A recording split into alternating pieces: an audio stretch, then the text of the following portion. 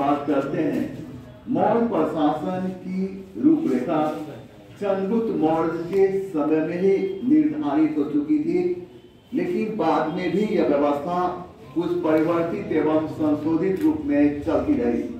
मौर्य प्रशासन में राजा प्रशासन का प्रधान होता था और राजा को प्रशासनिक कार्यों में सहयोग देने के लिए एक मंत्री मंडल होता था जिसमें तीन या चार सदस्य शामिल होते थे।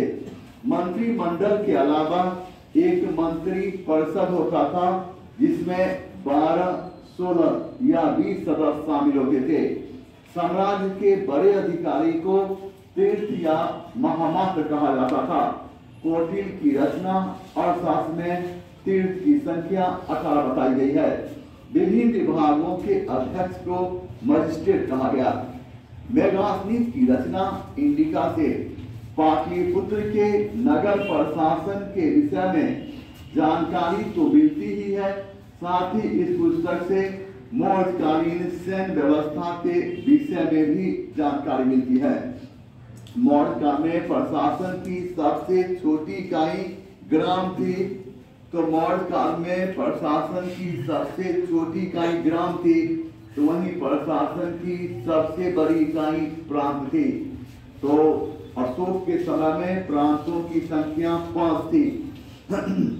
नंबर एक, अवंती, इसकी राजधानी उज्जैन थी। अशोक गद्दी पर बैठने से पहले अवंती का राजपा था। उत्तरापथ इसकी राजधानी तक्षशिला थी। दक्षिणापथ इसकी राजधानी स्वर्णगिरी थी। कलिंग इसकी राजधानी तोसली थी। कलिंग इसकी राजधानी तोसली थी। प्राच्य या पूर्वी प्रदेश इसकी राजधानी पाटलिपुत्र थी। हम देखते क्या है मौर्य काल में गुप्तचर विभाग का प्रधान महामात्या सर्प नामक अधिकारी होता था। मौर्य काल में दो तरह के गुप्तचर होते थे, संस्था एवं संचर। संस्था उसे कहा गया जो एक स्थान पर रहकर गुप्तचर का कार्य करता था। तो संचर उसे कहा गया जो घूम घूम कर गुप्तचर का कार्य करता था।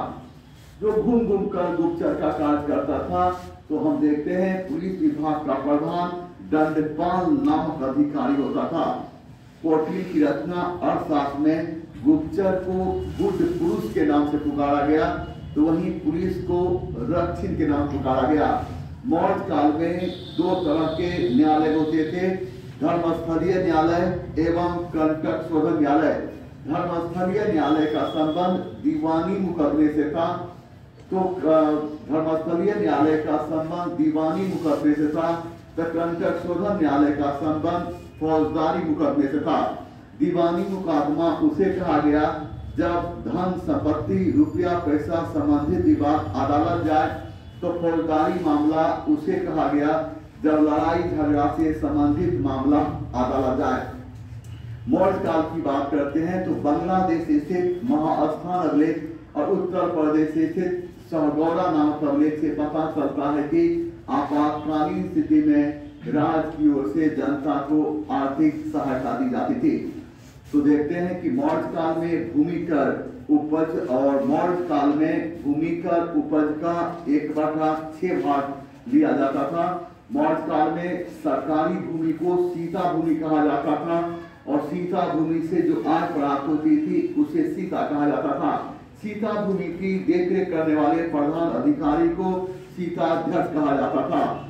मौर्य काल में अदेव मात्र वैसे भूमि कहा गया, जिस भूमि पर बिना वर्षा के अच्छी कृषि होती थी। मौर्य काल में सबसे प्रचलित सिक्का पन था यह चांदी का बना हुआ था। काल में सिक्का के निरीक्षण करने का काम रूप दर्शक नामक अधिकारी करता था। मौर्य काल में एग्रोनोमोई नामक अधिकारी का काम सड़क का निर्माण करना था। मौर्य काल में व्यापारियों के समूह को सातवाह कहा जाता था। तो वाणिज्य व्यापार की संस्था को श्रेणी कहा जाता था। श्रेणी का अपना एक न्यायालय होता था, जिसके प्रधान को महाश्रेष्ठी कहा जाता था। मौर्य काल का वित्तीय वर्ष आषाढ़ था इसे इंग्लिश में हम जुलाई कहते हैं? वित्तीय वर्ष उसे कहते हैं साल के जिस मंथ में पूरे साल के आय और व्यय का जो ब्यौरा लिया जाए, उसे वित्तीय वर्ष कहा गया। मौर्य काल में बलि एक प्रकार का धार्मिक कर था। तो मौर्य काल में बीसठी जैसे कर के विषय में जानकारी मिलती है। इसके तहत व्यक्ति से काम लिया जाता था और बदले में कुछ दिया नहीं जाता था। यही कारण है कि बरसों पुरानी मौर्य प्रशासन को देखकर यह कहा जा सकता है ओल्ड इज़ गोल्ड क्योंकि ये मौन प्रशासन की आवश्यकता सिर्फ़ आज भारत में नहीं संसार के हर देश में है। क्योंकि किसी देश की प्रशासन अच्छी हो तभी उस देश की ज़िंदगी निर्भर करती है यानी उस देश की खूबसूरती उस देश की अच्छी प्रशासन पर निर्भर करता। इसलिए मौत प्रशासन का आज भारत को नहीं, संसार के हर देश को है। इसकी खूबसूरत प्रशासन को देखते हुए कहा सकता है ओल्ड एज